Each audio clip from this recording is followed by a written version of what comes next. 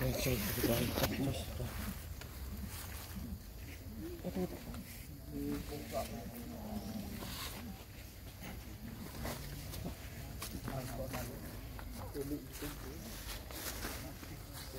Ờ, em bạn thoát á, xem sơ thoát sơ như thế anh. Đi, đi, đi.